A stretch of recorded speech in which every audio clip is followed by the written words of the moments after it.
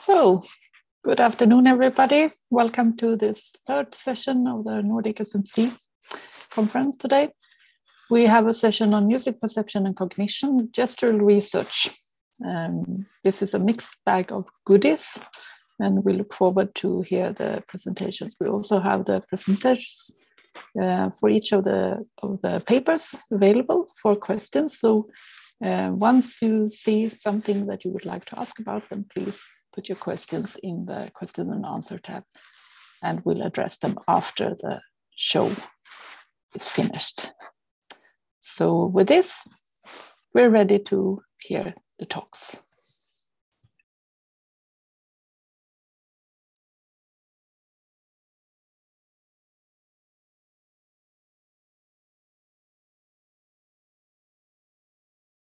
Hello, everybody. My name is Madalina Ana Maria Anastasiu, and today I will be talking about an investigation I have conducted alongside Nils Meyer-Kahlen and Sebastian Schlecht.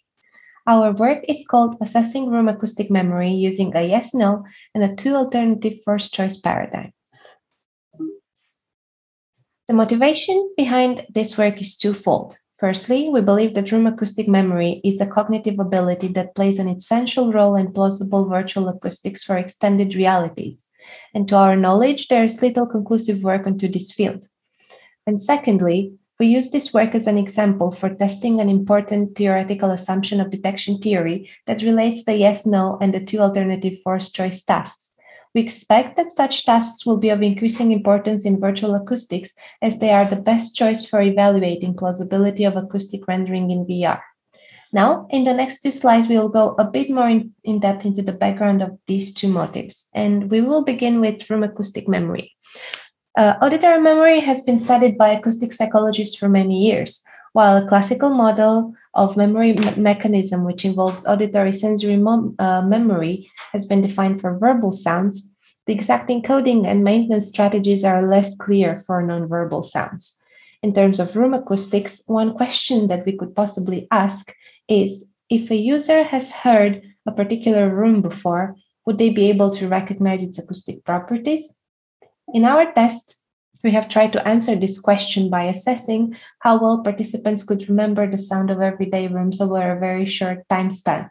One of our hypotheses could be that listeners encode sound by extracting several acoustic attributes of the room and then remember this information. While our experiment does not go as deep as to test the specific mechanisms. It still represents a first step in testing uh, memory for acoustics.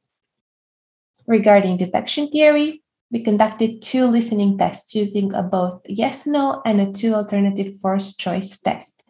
In the first paradigm, participants decide whether samples are either familiar or new. The analysis used for these results can be applied to memory studies, but also to many different questions, such as regarding the plausibility of virtual acoustic renderings. The most important feature of a yes no test is that the subject is presented with one item per trial. In contrast to this, in a two alternative forced choice test, participants are presented with two alternatives, one of which is always familiar, one of which is always new. And participants are decided to um, uh, but participants need to decide which one is which.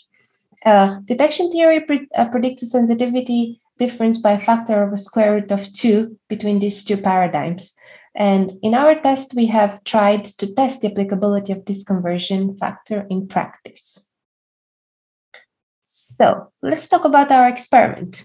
So our experiment consisted of a yes-no task session and a 2AFC task session, each preceded by a training session. In the training session itself, uh, the subject uh, was not time limited, and whenever he was ready to proceed, there were, was a break of 15 seconds in which the original sound source without any room response was played. The break was included there to minimize the effect of uh, auditory sensory memory, which may allow participants to store the signals themselves for several seconds. Uh, the GUI of the test can be seen in the slides that we are looking at right now.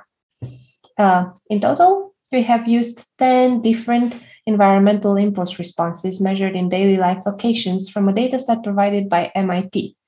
The locations vary from medium sized rooms like an office or a classroom to larger spaces such as a garage and a train station hallway, and even outdoor spaces uh, like a house balcony or a tram stop shelter. Then the impulse responses were convolved with three different sound sources that we chose, namely conga drums, uh, guitar, and the speech sample. The order of presenting the tasks themselves was randomized across subjects so that we could investigate whether the order in which the tests are presented has any effects on the sensitivity itself. And in total, we had 10 subjects, master or PhD students, who participated in the test, which was conducted at the Aalto Acoustics Lab. Uh, now that we heard about the experiment, let's have a listen to some sound examples so, we, so that we can get a clearer view of the test itself. We are going to begin with the impulse response of a hallway.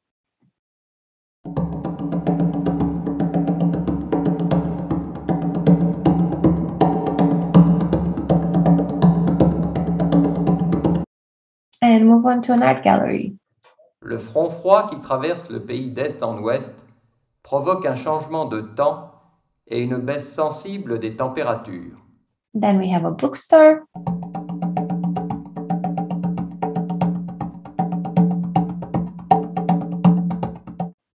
And an office.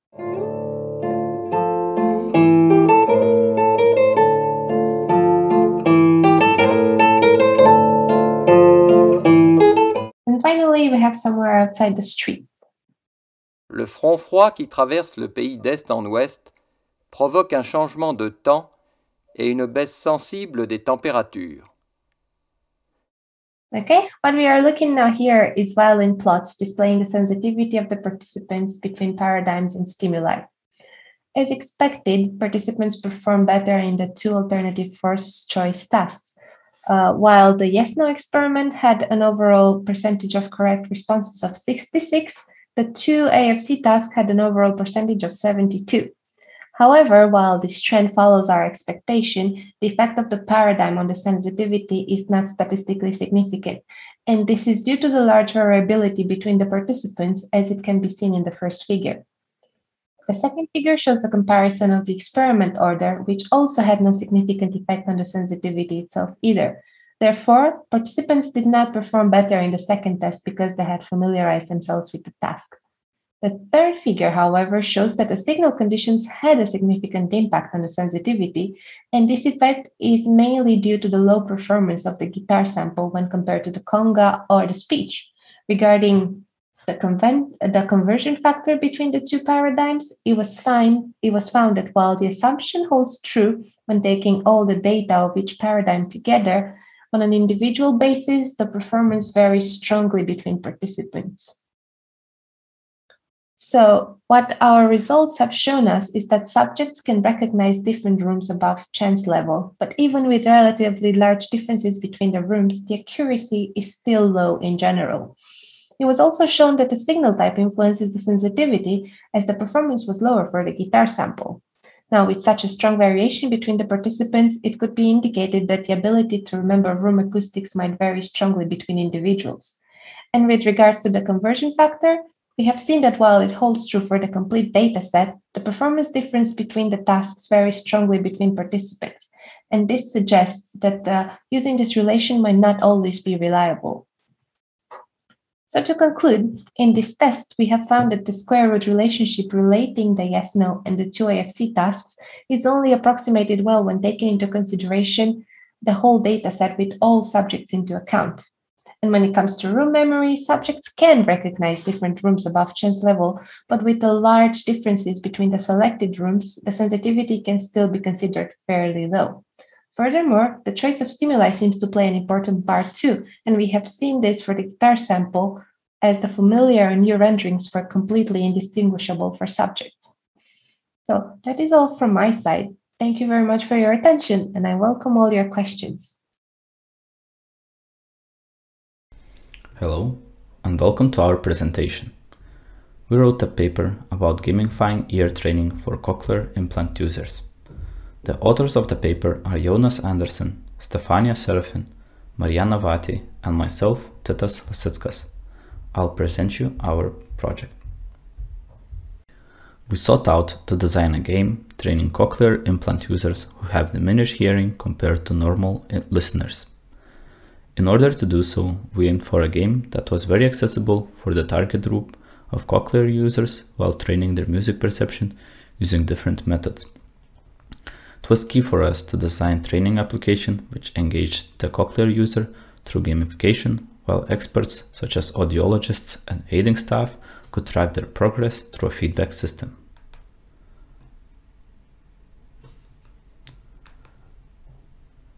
We ended up creating two different games, where the first one is a rhythm focused game, having some sort of rhythm pattern matching aspect. That would guide the cochlear user to keep a rhythm by not giving them too much visual information. The game was inspired by Guitar Hero or Dance Dance Revolution, while keeping a simple perspective like Super Mario Bros. For the pitch game, the same two-dimensional perspective was kept in order to keep the games consistent with each other in design.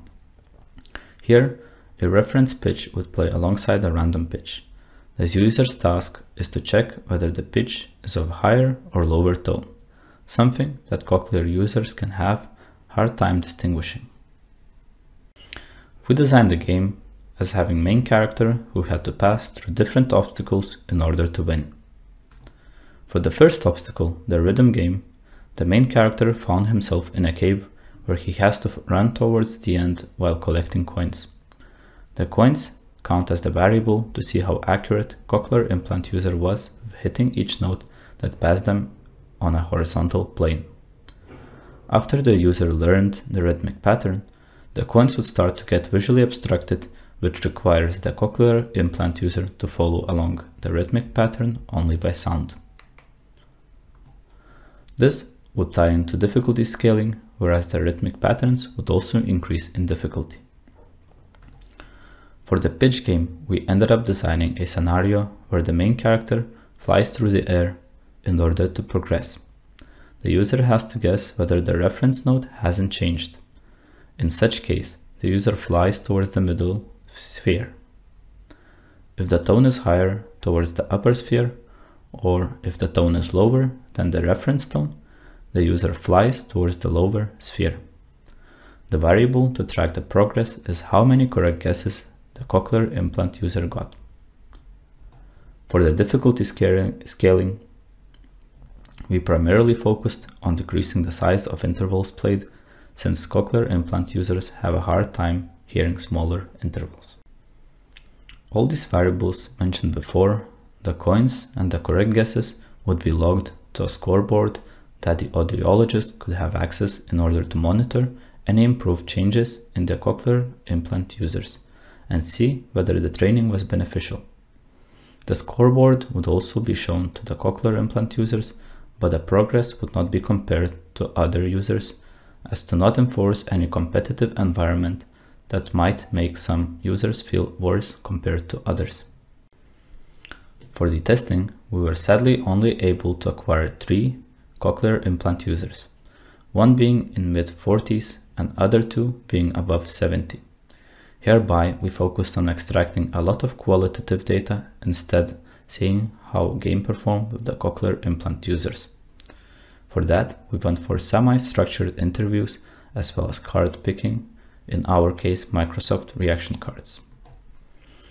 In the results, we can see that the rhythm game had the best results when it comes to positive card picking, which comes to no surprise as cochlear implant users have a general, easier time understanding rhythmic attributes in music rather than pitch. However, both games had quite high ratings for exciting and interesting, which indicates that cochlear implant users are open to the idea of games as a training platforms.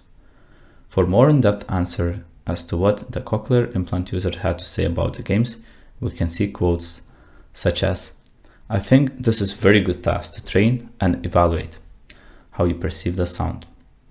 It is catching right now because you have to concentrate on it and you don't know what it was about. I fall behind, I can't make it.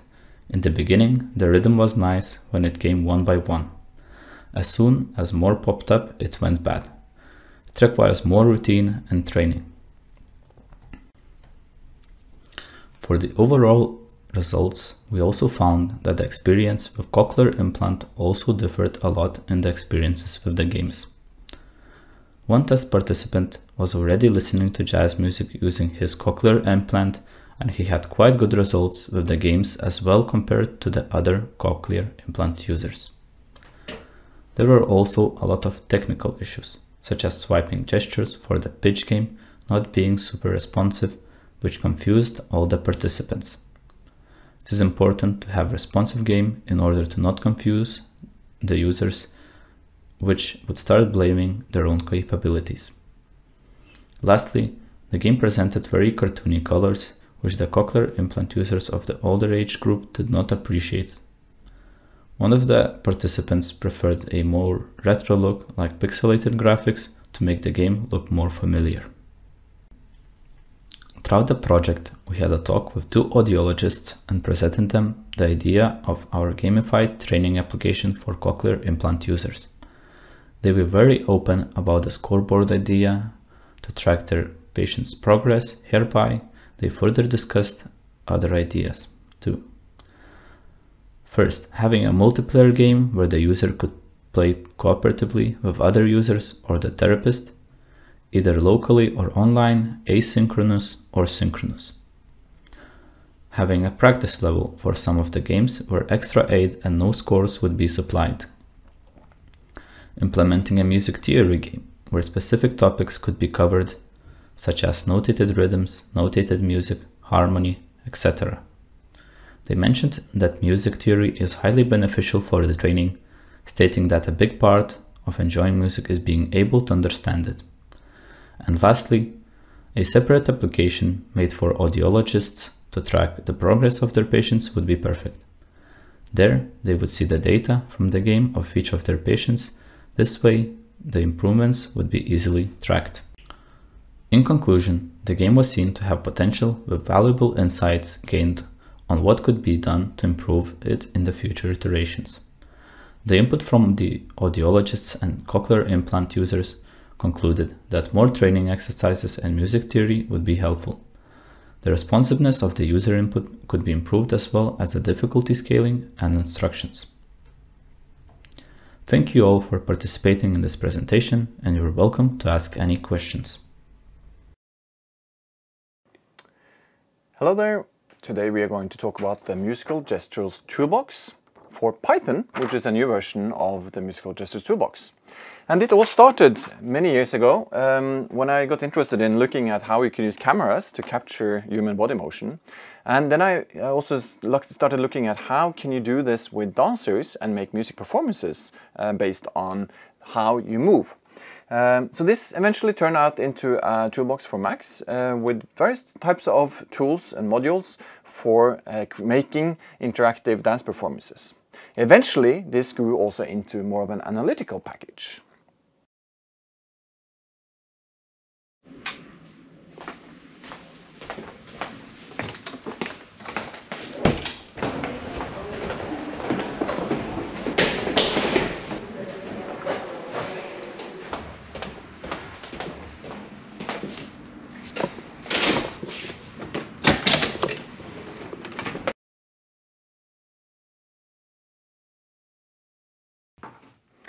As we started doing more scientific analysis, we realized it was necessary to provide some tools for working inside of MATLAB.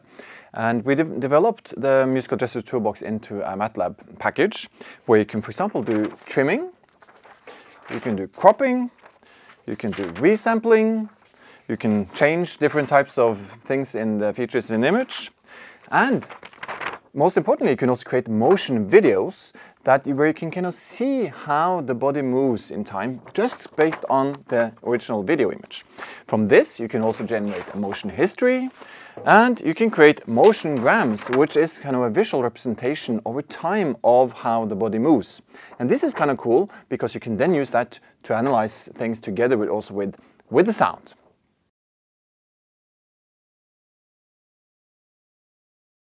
Now let us take a closer look at the Musical Gestures toolbox for Python.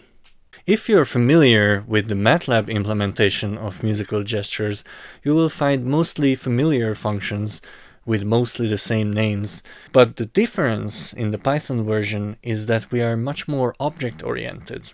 This means that we create objects for videos, images, figures, and their lists, and then modify their content via calling processes on these. The greater emphasis on the object-oriented design allows us to have hierarchies in our workflow to have persistent reusable data to maximize our efficiency. When you use the musical gestures toolbox, you render a lot of video, image, and other types of data over and over again. It was very important for us to maintain a fast rendering process. For this reason, in the newer versions of the Musical Gestures Toolbox for Python, we ported most of the rendering functions to use FFmpeg as their backend. This resulted in a 20x, sometimes 30x speedup compared to the previous implementation with running rendering loops in Python. And that is partly because FFmpeg scales so well on the available resources, so you can really benefit from rendering on a server or a more powerful desktop machine. Typically you start importing your video into an MG object to which you can apply basic pre-processing just like in the Max or MATLAB version of musical gestures. You can trim the beginning or end of your video file, you can shorten it by skipping some frames, you can rotate it, perhaps to compensate some unfortunate camera positioning, you can adjust contrast or brightness, you can crop it, and optionally convert it to grayscale, which can save you some rendering time in later processes. You can view your MG objects your pre-processed video at any time either in a window or embedded in a Jupyter notebook. Both have their merits. Playing in a window uses FFplay, which gives you a pretty powerful video player that is not afraid of high frame rates or resolutions and can run independently in a non-blocking fashion, so you can keep coding while looking at the result of a previous operation. However, if you are working in a Jupyter notebook or a Google Colab, it is perhaps more convenient to embed the video directly below the code cell. To do this, you can still use the same show method, but with mode set to notebook. I think the really exciting part of musical gestures starts with the video-based processes you can apply to your pre-processed videos. You can visualize motion by extracting a moving actor from a static background. You can then analyze and extract features of the now separated motion and save it as a CSV file or a set of plots. I particularly like the methods that create motiongrams and videograms that summarize the motion or the entire video content in a pair of images, one for the x-axis and one for the y-axis. Sometimes you'll want to visualize the trajectory of motion either with a simple motion history video or more advanced methods such as sparse optical flow or dense optical flow. You can even track all the joints of a person via pose estimation, courtesy of OpenPose, and save the results to a CSV file or as a video overlay. Since the backend for this process is OpenCV, you can enable GPU acceleration and render up to 100 times faster. The Python version of the Musical Gestures toolbox also comes with a set of audio processes that can be really useful when you are studying, for example, music-related body motion. With our Librosa-based audio processes, you can easily create figures of the waveform, spectrogram, tempogram, and various other features of your video's audio track. We have also implemented classless function versions of these, so you can use them on audio files as well. A newer feature of the Musical Gestures toolbox allows you to create time-aligned stacked plots of audio analysis data and video visualizations. To create such composite figures, all you have to do is to collect your motiongrams, videograms, spectrograms, and other data into an MG list, and then call sfigure on it. The first element in your MG list will be at the top and the last element will be at the bottom of your stack. We take care of all the matplotlib kung fu under the hood so you can focus on getting your results fast with a few lines of code. That being said, the Python package of the Musical Gestures toolbox is far from being complete. Speaking of timeline data, in addition to visualization, we would also like to have the ability to export CSV files with the timeline data to feed into further statistical analysis or modeling with machine learning. Just take a look at the issue tracker on GitHub to get an idea. We are also working on adding multicore support to all the rendering processes that use OpenCV as their backend. Finally, we want to develop a comprehensive test suite to ensure the stability and quality of our package on all platforms and in all the workflows we support. That's it, thanks for watching. Feel free to pip install musical gestures, read our wiki pages on GitHub, or browse the built-in documentation.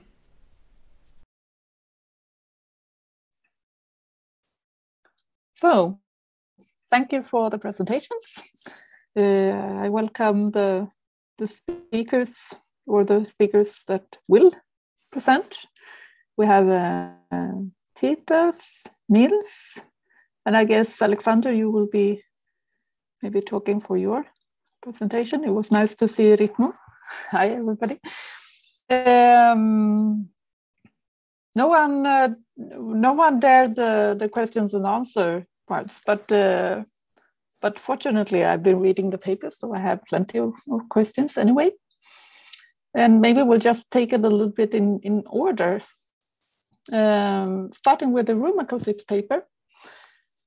Uh, maybe Nils, you can say what are your thoughts about why is it harder for the guitar yeah, I think so. First of all, I, am just uh, I'm representing Madalina, who's a very uh, ambitious student and is taking an exam right now. So, um, but uh, yeah, I think what what she also uh, um, what we also discussed with her is that the guitar is just it's quite continuous sound. There are no breaks where you can really listen to the reverberant tail, and it seems like that that what people use to remember these things is quite high level uh, acoustic features, which are which are easily um, uh, heard in in the in the really the reverb tail, and the guitar it's it's much harder to to to hear that with the other two. Okay, so uh, the, and I was thinking also maybe you could take it a little bit and, and explain to us uh, that, uh, that like from from a from a naive perspective, the yes and no also seems like a two alternative forced choice, doesn't it? yeah, so, the, yeah the important difference is that that you you only get presented with one uh, with one stimulus. So so kind of the this this relation that the detection theory tells you is that if you get two and you know one is that and one is the, the other so one is familiar one is not you may use basically twice the information because you have uh, yeah you basically have two to to make your decision. And then in the yes no yeah of course you have to decide between yes and no but you only get one set of information to to do that. And yeah i can quickly uh, say we we got a little bit interested in this because more because um, from the context of um, real virtual experiments with which we are doing so some when there's a sound source that's either in the real room or then presented over headphones and there we are trying to understand a little bit better um, what does it, in which way does it matter how you ask this and how you design this? And, and yeah, here we, we, we try to uh, ask the same question with, with a different, uh, different task. But yeah, I, yeah, I think, uh, yeah. but, but I find that uh, say very interesting. Uh, uh, so I guess it's a little bit. Um, uh, I'll, I'll come back to, to that. But the, but you also chose uh, uh, within group participant design. Uh, yeah. Why is that? Yeah, it's a good question. We, I think we could have done it also between subjects, but but of course it's what we've seen is that that people do. It it depends. Uh, actually, interestingly, also in in these more real virtual tests and in this this um, uh, yeah related related tests it depends quite a lot on the experience of the participant. So when the sample size is relatively small, then then it's good not to uh, yeah not to depend too much on on that.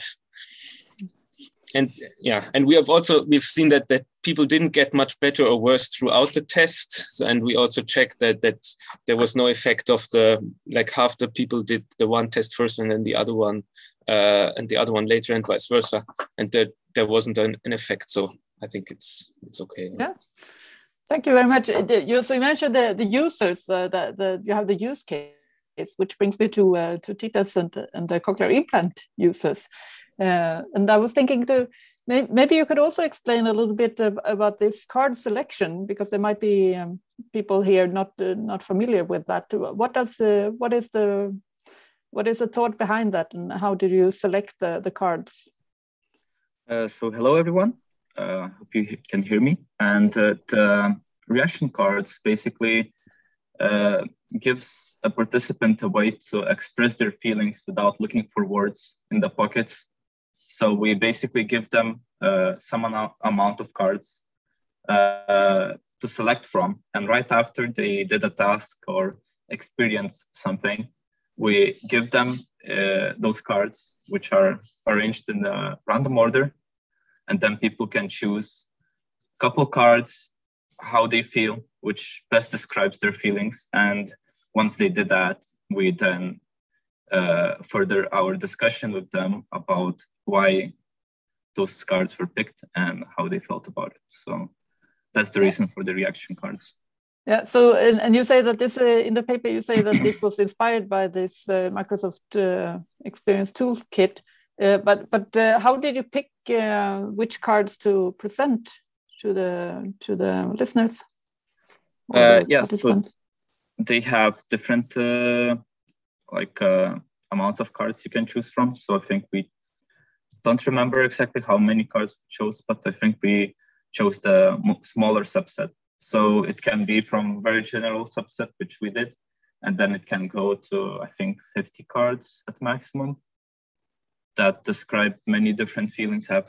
Uh, so it's a matter of choice how many you want to give.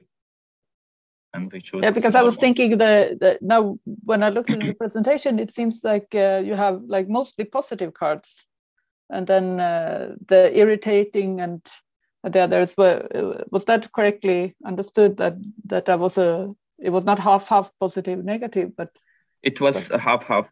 It was okay. uh, the cards were half half uh, just the choices were mostly positive. That's what we were trying to say uh, throughout our diagrams that uh, people would choose mostly positive cards, as you saw in the graphs there. But uh, overall, the balance was half half. Right. So the I was also thinking about how in um, when we have uh, development together uh, or we're working with projects and we're presenting that to, to the user group. Like for instance, in this case, you have the, the patients and um, and the audiologist. And we were in a way, we're working together with them, but we also would like their honest opinion. So can you maybe reflect a little bit? How can we avoid that they're just not being nice? Uh, well, first of all, you set up the experiment in such a way that they feel comfortable sharing uh, the opinion doesn't matter if it's a bad experience or not. So we tell them that, uh, for example, we want uh, their honest opinion and it's still in development, it's not out yet, and we want uh, tips how to improve. So in that case, they might focus more on the negatives rather than positives, which is other side of the scale. But uh, yeah, so I think by just asking them for, for help, that you're still developing and uh, i think that helps with not get being just nice from yeah. their side which also uh, we also have a question about the uh, from alexander would you like to say that loud alexander i think you have a good microphone Yes, yeah, we had this uh, throwing microphone here. Yeah, no, that was uh, that was a question uh, about the age of people. I was just uh, curious about the the effect of age when it comes to cochlear implants. I mean, for normal hearing, I mean, there is a decline in the top frequencies as you as you uh, become older. But I guess you don't have the same issue here. Or how, how did you think about then taking this into account? Uh, so I think the cochlear implant itself doesn't take those high end frequencies uh, in the processing, but I'm not a designer of cochlear implants, so I might be wrong. But uh, yeah, basically, we were planning to have a whole thing for the testing too for all age groups. It's just so happened that it was uh, mostly uh, older people. So we didn't, uh, while testing, we didn't take it into account, but reflecting on that, I think that uh, it should still, like the one of the participants was using cochlear implant one year, other year had the uh, normal hearing aid. So I think those things influence the testing more. What I find the most intriguing there was that the the 40 year old felt that uh, she was too he or she was too old to play these games. So that says something about how we maybe something that, to take into account about the game. Uh, I also had a question about the, the mapping there. So in the paper, you say that you, you chose the up and down for the pitch, uh, but also that the audiologists are using the, the keyboard mapping for, for this. But that's not really up and down, is it? That's, uh, that's right and left on, on a normal piano keyboard. So what is it uh, in, in, if you have uh, if you have experience from, from music already and and uh, and have had hearing beforehand maybe this mapping of up and down makes sense and, and you have learned it but but in if you're uh, if you haven't really had that as a child then this mapping is not necessarily something easily understood can you reflect a little bit on that what what could be alternatives way of, of making this um, uh, yeah. the pitch game yeah there? so i think I would argue that it's kind of intuitive to choose up and down for higher and lower just because of the definitions of the words if the pitch went higher or if the pitch went lower. And people usually understand the difference uh, when you say higher or lower pitch. And uh, if you have musical training, you saw the five line. So there the notes also higher ones would be drawn higher up. Uh, so, and also we chose the up down rather than like piano left and right to not confuse the directions of uh, of the characters going. So from the beginning, uh, the rhythm character in the rhythm level is going from left to right, uh, and that's the movement. And on the pitch game, uh, character is moving the same direction. So it feels like the character is always progressing, which is always good for uh, training and for self uh, confidence of people who are feeling a bit doubtful about their uh, experiences and about their capabilities. And, and about that, uh, one last question would be if you um, if you now were to in include also vocal training in this, I'm not sure if they if that's what um, if they would be wise in terms of that. I imagine that you would have the perceptual training first, but if you also would like to to have include like vocal voice control in in this game, that what, what would you do have to do to expand that in uh, from this type of, of games that you developed?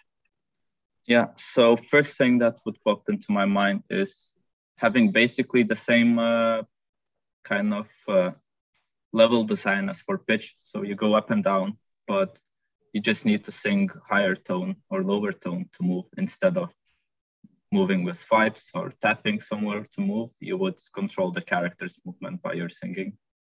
So I think it would be fun and intuitive way to play the game. Thank you, Titas. We'll move on to the third uh, paper. Alexander, uh, what if you could reflect a little bit, what have been the main challenges in, in this type of implementation for the musical gesture uh, toolbox? So you, as you nicely displayed there in the video, you moved from from the Max to MATLAB to now Python. And uh, what have been the main challenges in, in this? All in reply. Yeah. Uh, so uh, first of all, I am Balint. And oh, sorry, I didn't see you. Sorry. um, You're both free to to speak, of course. Yes. Yeah, uh, it's great to be here. So um, the main challenges, I guess, one of the main challenges were were to create an easy to use platform for um, researchers, students, educators who, who are not like professional Python programmers, but like just want to use something that gives them results, uh, even like complex results fairly easily with a few lines of code, offering some kind of consistency, not just in itself, but like across all the Max and MATLAB uh, and command line uh, versions of the musical gestures. That was one um, um, like design challenge, I would say. And a more technical challenge was that, um, uh, as I also mentioned in the video, uh, when you're working with video analysis, you actually uh, render lots of videos, images, and other types of data over and over again. And um, Python is generally not the go-to language when it comes to rendering video frames or you know matrices of uh, pixels. So um, one of the main goals uh, moving towards like a newer version of this Python package was to actually port most of the rendering stuff to FFmpeg. Uh, so in a way, we escaped the um, slowness and the, the limitations of uh, Python while keeping all the convenience and goodness uh, of Python. Um, uh, so we have like convenience and speed at the same time. That that was also a, a big challenge. And if I can just add on one thing, uh, if, see if my our fancy video camera can pick me up here. uh, no, more conceptually, uh, one of the things we've been working on is really to try to also look at how we can do uh, audio and video analysis together. And this is something we had tried before as well, but it's it's challenging in practice because these are so different signals. But I think we have achieved that to a larger extent in the Python version than we did uh, previously, and at least we have made a kind of the groundwork for being able to, for example, have combined visualizations, but also work more towards kind of combined feature extraction and further analysis. So we're not entirely there yet, but uh, it's going in the right direction. That's very interesting and, and uh, related to that, I just had a lecture yesterday for for uh, our uh, SMC class uh, about music and motion, and were talking about different ways to analyze.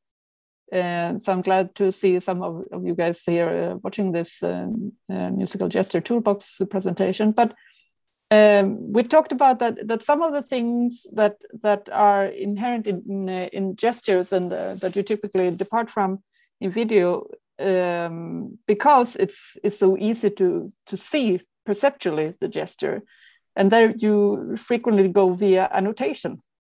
So what about the annotation? Will that uh, how can that somehow be incorporated in a, in a neat yeah, way now?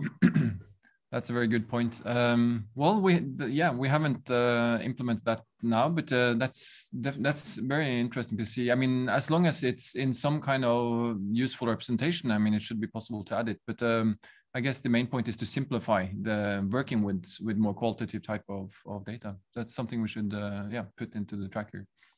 Yeah, specifically again because that is typically what what lies um, easiest at hand for for those not really com confident with the with the programming toolboxes or MATLAB or whatever.